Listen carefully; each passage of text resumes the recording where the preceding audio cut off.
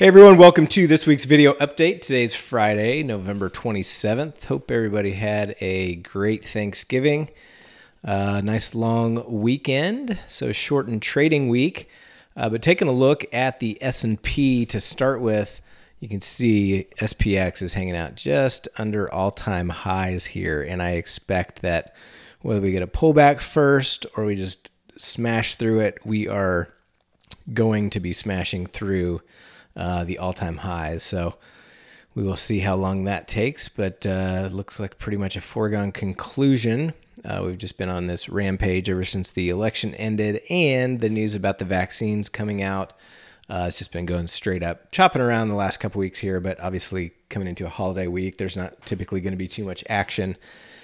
And so I think it's just up, up and away. Now we're still uh, a little under one to one on our short delta versus our theta ratio. So we're still going to keep some short delta on uh, in case we in case we do see a, a significant rollover to protect ourselves from the downside. But we'll continue to add new positions on uh, some directional, some some bullish uh, for the anticipation of some higher prices here. So Let's jump into the alerts and then I'll talk about our day trading results here in a minute as well. So, starting with the alerts.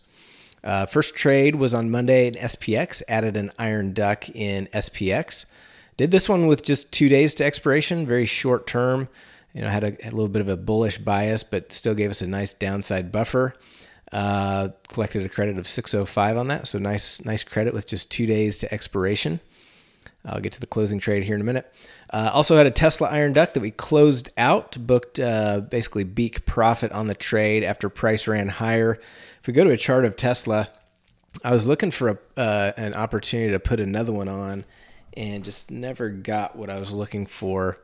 Uh, I was hoping for just a little bit of a pullback, but man, this Tesla's just been on a on a rampage to the upside after the news of being included in the S&P 500, which by the way takes place, I, th- I, believe it's December 21st, sometime in December. I think 21st is the day. But look at the look at the increase in price and the expansion in implied volatility. So that uh, that bodes well for for putting on ducks because I think the risk in Tesla is definitely to the upside. So we want to not have any risk to the upside, which is perfect for the Iron Duck. And yet we still have a huge buffer to the downside. So I'd love to see a little pullback uh, uh, in Tesla and, and put on some more ducks, but we'll see what happens. We may throw one on anyway. Um, and so anyway, we had one on, and, and with this run up, it just ran up the beak. So we closed that out for beak profit. Next trade, rolling adjusting trade in SMH. So we've got this short strangle on in SMH that we've been working. Obviously, SMH has been strong, continues to hit new all time highs. Uh, so it's hanging out in the upper end of our range here. Uh, so we could use a little bit of a pullback to center uh, to help out with that one. That one's now in January, so got lots of time on that now. Next trade was a closing trade in SPX. So this is one of our iron ducks. So we had um, uh, we had we had two of them on in the same expiration, that November 25 expiration, uh, and this one we went ahead and closed out right at five bucks. We booked exactly a beak profit. Did get a question, uh, I think it was by email or it may have been in the community about why not let this expire, and you could certainly do that, especially with SPX, and especially if you have Toss as your broker because they don't charge an assignment or exercise fee. In this case, we just wanted to clear it out because the very next day, and then we closed that one out because the very next day we added a new one, and that was just to uh, just to clear it out. So either way is fine. Close it out. Uh, and then this one, we did another closing one, which we booked big profit on as well. Um, and we only had this. This was the one we just had on for one day, and so we went ahead and just closed that out and and booked the booked the profits on that one. Uh, rolling adjusting trade in DE. So we've been holding DE as one of our short delta positions. Uh, price is pretty close, right where we put it on, right inside range here. So just holding this for some more downside action. Uh, next trade, opening trade in SPX. So we added this uh, another iron duck with 14 days. So let's go ahead and go to the platform. We've got uh, a couple ducks on here. This is the one that expires on 1210. You can see prices hanging out right here still a decent chance uh, for it to get back into the duck head if we get a little pullback in price. And then here's our shorter term one, and this one expires on 12.5. Uh, and you can see prices far up. Uh, we're at basically max on the beak profit at this point. But like I, what I like to do here is I like to set my slice to see right at the duck head as if it, it got right out of the beak. What's our probability of profit? We got to set our calendar to the expiration date, which in this case is 12.5. So you can see there's about a little less than 20% chance that price can get back there. So if price stays right here or goes higher on Monday, then we'll probably just close this out, book beak profit, because there's very little chance of it getting back to that max profit zone. Uh, but for now, we'll we'll go ahead and, and leave that one on. Next trade and final trade was Amazon. So we opened up an iron duck in Amazon. Amazon hasn't been super strong recently, and so uh, it hasn't. It's not extended to the upside like a lot of these symbols, and so uh, it was up a tiny bit today, but implied volatility is decent. We got a decent credit.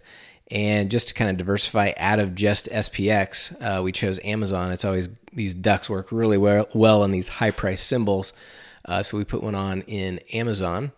Uh, also, assuming, you know, as these retail numbers come out from Black Friday, uh, assuming Amazon will benefit from that. So we could see some upside and if we don't, we've still got this huge buffer to the downside. In fact, that buffer's way down at 3024. So way down here, uh, about right here is our is our downside buffer. And this is a 14-day duck. Uh, yeah, expires 1212. And so we will uh, hold this one. If, obviously, if price runs higher, we'll exit early for a big profit. If not, we'll hold it near close to expiration, and hopefully we can get a little bit of downside action.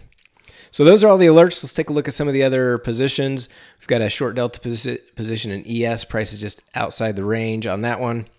Natty gas was down a little over 3% today, but still well within range. We're up about 460 bucks on that since our last roll. ZB had a nice update today. If we look at a chart of the bonds, uh, you can see it's been kind of just trending down, you know, lower lows, lower highs, just kind of trending down looking like it may be looking to make a uh, kind of get out of that range and make it bounce. So I'm going to leave this on over the weekend, but we'll probably close this out on Monday. If we get just a little bit of a pop higher, get right back to center, and we'll book over three thousand dollars since our last roll, and we'll be we'll be profitable on this trade. So we'll probably get out of bonds on Monday, and that'll also coincide with getting closer to that 21 days to expiration next week. Uh, so hopefully we'll be able to just close that one out. Uh, Apple another one of our short delta positions. You can see we're up about 136 on this one since our last roll, just holding this for that short delta, that downside protection. I mentioned Amazon, DE, DIA. Uh, this one's just outside of range too, just need a little bit of downside to get back in. Same with IWM. This one's a little bit further out of range, but just holding this for that short delta position. Same with the Qs. Uh, I mentioned SMH, SPX, SPY. We've got our Iron Condor uh, we're up about 170 some dollars since our last since we put this one on. Uh, I'd like to add another one here, but the implied volatility is just pretty low. IV percentile at 26. Now you're still able to get some decent premium. Implied volatility was just so high for so long with the coronavirus and everything else going on that even though remember the percentile ranks uh, with the IV was versus where it's been over the last year. So compared to where it was earlier this year, it's it's still it's pretty low, but we may still sell some premium here because the options are juicy and you can still get a decent credit. Uh, so we may add on another uh, Iron Condor in SPY. This one's in December, so we may add one in January, especially if our break even, uh, if price gets closer to the break even here. And then lastly, XLK. Uh, this is right at the break even, so just holding this for some short delta exposure as well.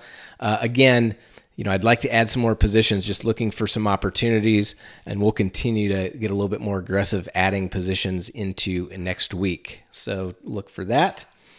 And then last thing I want to mention is just our day trading for the week. Obviously, a shortened week here. Uh, we only streamed on Monday and Tuesday.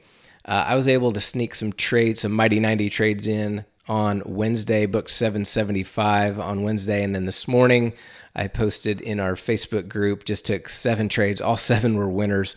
Uh, volume was light. Range was narrow, so I'd stayed super small. And I'm talking just a few hundred dollars in buying power per position, but booked winners on all of those for uh, plus 299. So Mighty 90s for the week. Uh, almost $2,000. Uh, did 19 trades, winning percentage back above 70% for the third week in a row. Uh, only did one pairs trade, booked 272. That was on Monday in the room. And then runners, uh, again, I didn't take any Wednesday, Thursday, or Friday. Just did eight of those on uh, Monday and Tuesday for a total of 520. So if we look at our, our summary here, total for the week on a shortened week, $2,778 on 28 trades. And our total profits uh, since the beginning of September, or August 31st was the first day we started tracking here, uh, over $30,000. So pretty, pretty phenomenal. And the biggest thing that I'm loving is our Mighty 90 for the third week in a row, over 70% win rate. And that's really where we need to be. So just did a little tweak uh, a few weeks ago after after some uh, analysis of our of our Mighty 90 and just made a little tweak to the way we were managing it uh, back to way it originally was uh, intended to be managed and is paying off well. Now not much of a profit a few weeks ago due to a, a big loser in there but still over 70% win rate. And then last week 80% which are really nice with a really nice profit. And then over 73% this week with a really nice profit. So really happy to be back on, you know, just really solid footing, really solid um, uh, win rate and profits on the Mighty 90. So now we're uh, up to over 4,200 total since the end of August, 1st of September. So coming up on three months. So a lot of solid, uh, solid performance coming in across the board. And we'll continue to build on this. So we'll be we'll be rolling out the official class for the runners on uh, in January. And of course, I've mentioned a couple times, make sure you mark your calendar if you haven't already. Uh, for the, our next class that we're going to be presenting, not a day trading class, but it's called the Vertigo Strategy, and it's going to be part of our income portfolio uh, arsenal. Uh, so, really excited to share that with you. And with that, everybody have a fantastic rest of your weekend, and we will catch you on Monday. We'll be streaming live uh, next week. So, Make sure you keep your eyes on in the live stream room. We post our calendar there. Uh, and make sure you, you, see there are certain days where we don't stream. And so just make sure you keep your eyes on that calendar. All right, everybody have a good weekend. We will catch you Monday.